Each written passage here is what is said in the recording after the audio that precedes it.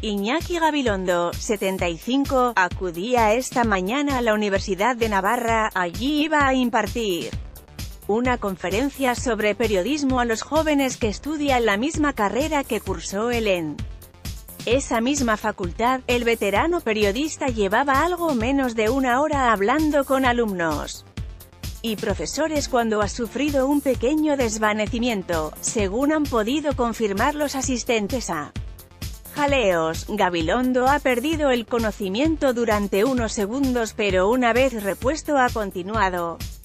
Con la conferencia, Iñaki Gabilondo ha sufrido un pequeño desvanecimiento durante su conferencia, pero se ha repuesto y sigue en charla con los alumnos. De abril de 2018 el propio periodista ha explicado que no es la primera vez que le ocurre algo así, ha comentado que le ha pasado en museos e iglesias. Según ha publicado un asistente en su Twitter, Iñaki Gabilondo ha sufrido un pequeño desvanecimiento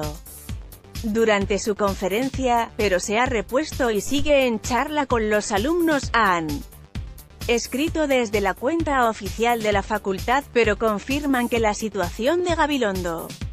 ahora es buena y se mantiene al frente de la conferencia, al reponerse sigue con la conferencia como si nada, pero menudo susto, se ha desplomado sobre la mesa con un espasmo y que ya está bien. 10 de abril de 2018 Iñaki se encontraba en la Facultad de Comunicación donde ha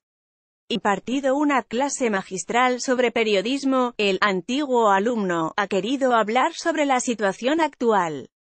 de la profesión y alentar a los allí presentes, más información, Iker Jiménez, Gabilondo me contó que había visto un ovni en un vuelo con los reyes.